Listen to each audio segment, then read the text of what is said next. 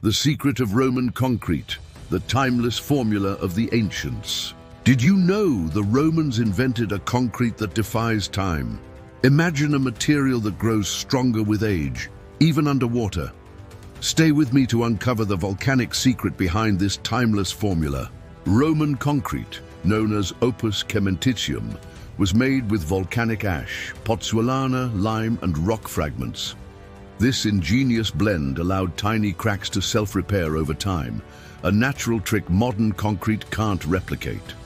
That's why iconic monuments like the Pantheon and the Aqueduct of Segovia have stood strong for over 2,000 years, even resisting harsh seawater.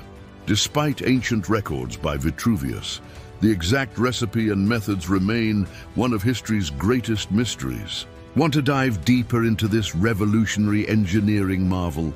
Click the link in the description and watch the full video.